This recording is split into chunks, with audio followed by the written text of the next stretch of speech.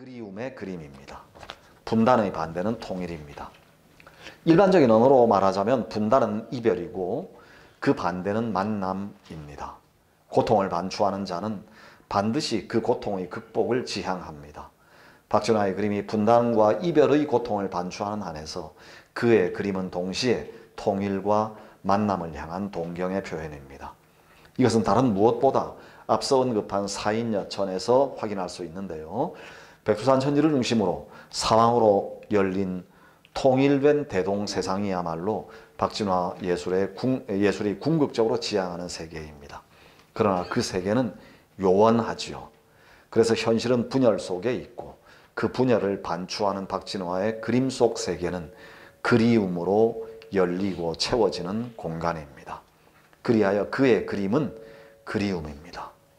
그리움 때문에 그리움으로 그리는 그림. 그게 그의 그림입니다. 이렇게 말장난을 건 우리말에서 그리움과 그림이 어원이 같다죠.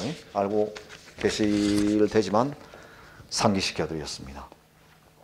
그런 의미에서 박진화의 그림은 그림의 본질에 가장 굳건하게 뿌리내리고 있다고 저는 생각합니다. 풍경이나 아침의 열림, 1, 2 같은 그림은 이건 뒤에 있습니다. 그 그림에서 전형적으로 나타나듯이 그 그리움 속에서 사람과 사람 사이의 공간이 열립니다. 공간은 모든 물성을 지닌 모든 존재의, 그러니까 물체의 지평입니다. 공간이. 공간이 그리움 속에서 열린다면 우리는 존재가 그리움 속에서 열린다고 말해도 무방할 겁니다. 그리움은 언제나 님을 향한 그리움이어서 어떤 지향성을 그 본질로 갖습니다.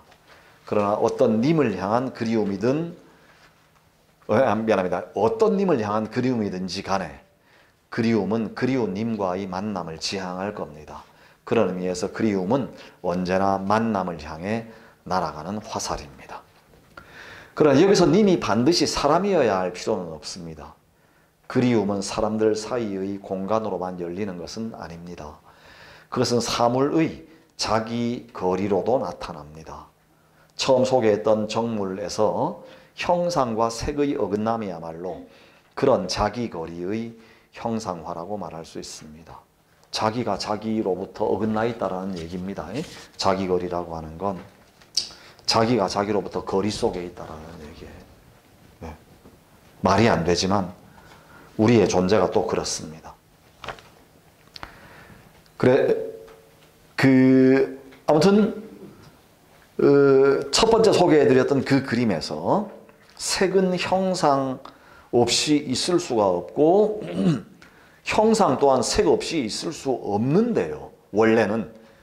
그래서 그들은 원래 모든 사물에서 공속합니다. 같이 있게 마련입니다. 근데 그의 그림 속에서 색과 형상은 어긋납니다. 그리하여 색은 형상을 그리워하고 형상은 색을 그리워합니다. 불가능하고 불합리한 장소에 유동하는 물상은 자신이 있어야 할 본래적 장소를 그리워합니다. 임진강을 등지고라고 하는 그림이 있습니다. 예. 뭐다 한번쯤 보셨을 텐데요. 예.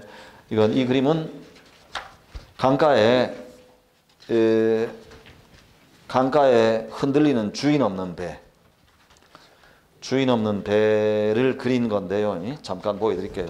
자, 이 그림입니다. 이 그림 다 보셨을 테니까 이 그림 한 번쯤 보셨을 테니까 그냥 에, 머릿속에서 연상하시면 됩니다. 이 그림을 보고 그냥 우리가 쉽게 얘기하면 고호도 이렇게 바닷가에 배 그린 거 있잖아요. 뭐 고호가 워낙 유명하고 하니까. 근데 고호가 그런 그려놓은 바닷가의 배를 보면서 저는 그리움을 느끼지는 않았던 것 같아요. 잘 그렸네. 예? 어.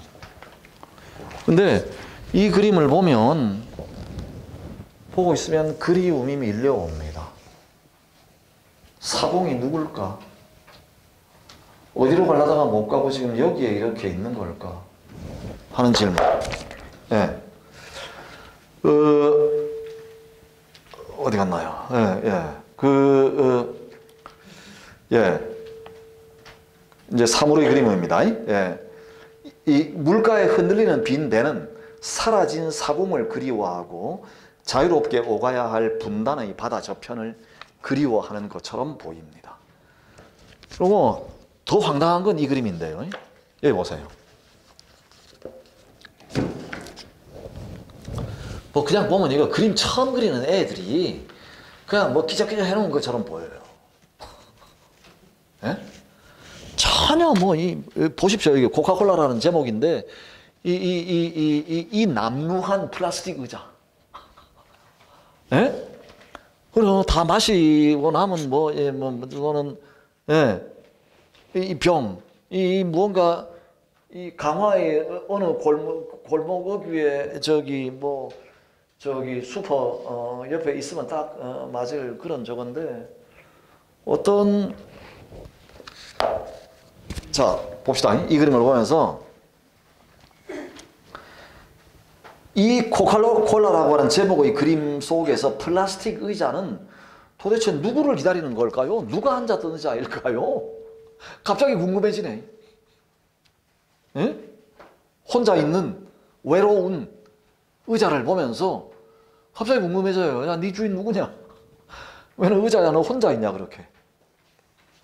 그의 그림 예. 자, 이 플라스틱 의자는 누구를 기다리는 걸까요? 이런 사례를 들자면 끝이 없을 겁니다.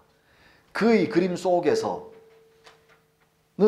사람만이 아니라 사물까지 포함해 존재하는 모든 것이 근원적인 자기 분열 속에 있고 자기 거리 속에 있고 그 분열을 극복한 존재의 본래성을 향한 그리움 속에 있습니다. 박진아의 그림은 그런 그리움의 절절한 표현입니다.